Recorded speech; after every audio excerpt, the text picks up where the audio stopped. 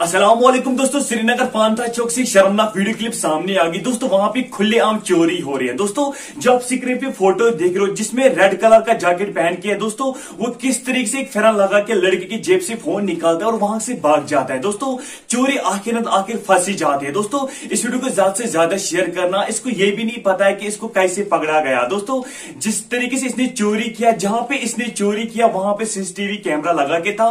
ये CCTV camera में catch हुआ है। दोस्तों, मैं वहाँ की वायरल वीडियो क्लिप दिखाने वाला हूँ, किस तरीके से जेब से फ़ोन निकालता है और वहाँ से भाग जाता है। दोस्तों, आपके एक शेयर करने से इस भाई को फ़ोन वापस मिल सकता है। वीडियो क्लिप दिखाने से पहले मैं आप लोग से रिक्वेस्ट करना चाहता हूँ। बहुत सारे लोग मेरी वीडियो को देखते बट सब्सक्राइब नहीं करते हैं। प्लीज़ आज सब्सक्राइब करना और साथ में बेलाइकन और प्रेस करना। आपको जम्मू कश्मीर की हर एक न्यू अपडेट इस चैनल पर मिलती रहेगी।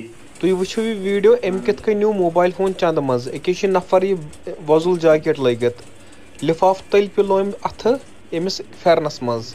यह वीडियो कर मैक्सिमम शेयर ताकि गई आइडेंटिफाई गो पंथा चौक श्रीनगर मज मोबाइल फ़ोन अके न्यू बोर चंदस तो वह नी अपरी यह वीडियो कर मैक्सिमम शेयर ताकि आइडेंटिफाई नंबर दिख कैप्शनस मज कर कंटैक्ट बाकी अस्सलाम वालेकुम चलो दोस्तों, आप लोगों ने शर्मनाक वीडियो क्लिप देखा ही होगा। दोस्तों, मुझे उम्मीद है वीडियो को ज़्यादा से ज़्यादा शेयर करोगे। दोस्तों, आपके एक शेयर करने से इस भाई को फ़ोन वापस मिल सकता है। दोस्तों, आखिर गलत करने वाला कभी ना कभी फांसी जाता है। इसने चोरी करके गलत किया और साथ में इसने अपने माँ बाप का नाम भी बदनाम किया। दोस्तों, अपने माँ बाप का नाम कभी बदनाम मत करना। उनकी इज़्ज़त अपने बच्चों के हाथ में होती है। इसके अलावा कोई भी इंफॉर्मेशन मिलता है, वो आपको इसी चैनल पर मिलेगा। मेरी चैनल को सब्सक्राइब करके रखना। मिलते हैं अगली वीडियो में। तब तक के लिए अल्लाह हाफिज।